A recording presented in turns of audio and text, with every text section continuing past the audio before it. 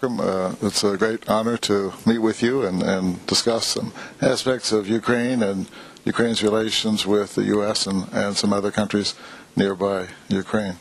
It's my pleasure and my honor.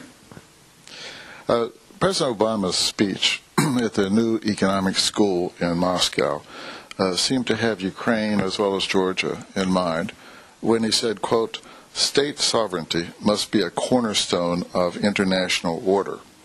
Uh, we must apply this principle to all nations, and that includes nations like Ukraine and Georgia.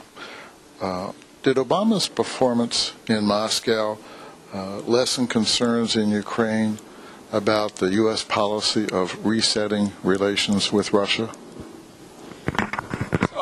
I would say that uh, uh, definitely we noticed uh, very important messages in uh, the statement uh, made by President Obama, Obama in Moscow, and um, uh, uh, quite frankly, from the outset of the transition period, uh, we were concerned to get all the necessary assurances, first of all, concerning the continuation of uh, our relationship on the basis of the Charter on Strategic Partnership.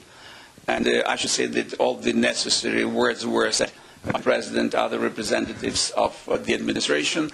And uh, now uh, we are uh, looking uh, what I would call for uh, the traction, just start a practical interaction with uh, the new administration.